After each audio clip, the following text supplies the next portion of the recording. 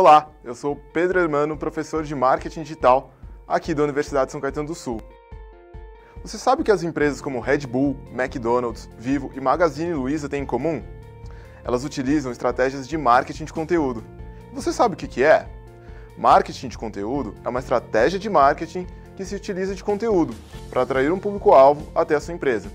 Ou seja, todo o material que você disponibiliza gratuitamente para ajudar o seu cliente no processo de compra, isso de uma forma bem natural e espontânea.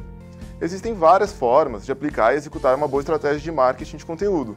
Algumas formas podem ser blogs, vídeos, redes sociais, e-mail marketing, textos na internet. Além dessas, diversas outras táticas e ferramentas são utilizadas para atrair o público.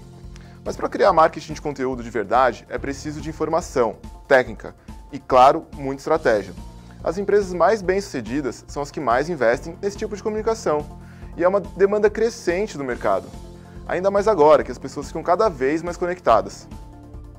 Se você quiser saber mais sobre marketing de conteúdo, acompanhe nossos vídeos e conheça a pós-graduação em mídias sociais e marketing digital aqui da Universidade de São Caetano do Sul. Vejo você lá, um grande abraço!